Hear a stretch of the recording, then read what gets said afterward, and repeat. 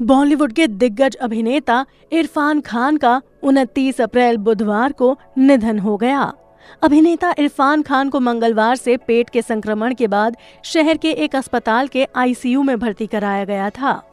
उनके करीबियों ने जानकारी देते हुए बताया कि तिरपन वर्षीय अभिनेता को कोकिलाबेन धीरूभाई अंबानी अस्पताल में भर्ती कराया गया था। इरफान खान का 2018 में कैंसर की बीमारी का इलाज भी हुआ था। इरफान खान की पचानवे वर्षीय माँ सईदा बेगम की चार दिन पहले ही जयपुर में मृत्यु हुई थी। अभिनेता कोरोना वायरस से निपटने के लिए लगाए गए लॉकडाउन के कारण अपनी माँ के अंतिम संस्कार में भी शामिल नहीं हो पाए थे। कैंसर की बीमारी से निजात पाने के बाद 2019 में फ़िल्मों में वापसी करते हुए अभिनेता ने अंग्रेज़ी मीडियम फ़िल्म की शूटिंग की थी। आपको बता दें कि अपने कैंसर के बाद से ही इरफान अपने रूटीन चेकअप के लिए भी कोकिला बेन अस्पताल जाते रहते थे। जानकारी के अनुसार अभी इरफान अस्पताल में ही है।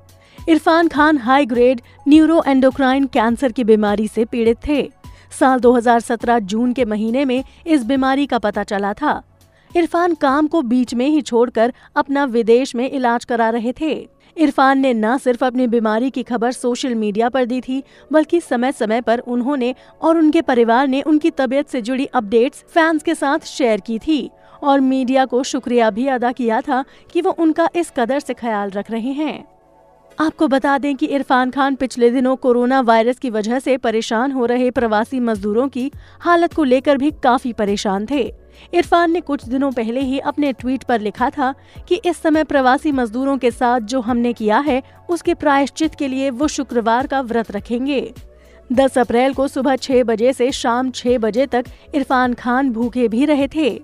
लेकिन अब उनके निधन की खबर के साथ पूरा बॉलीवुड इंडस्ट्री शोक में डूब गया है।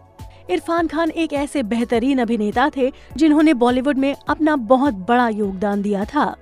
बॉलीवुड इंडस्ट्री के एक्टर्स के साथ साथ उनके तमाम फैंस भी इरफान खान की मौत के बाद बहुत ज़्यादा गमगीन हैं।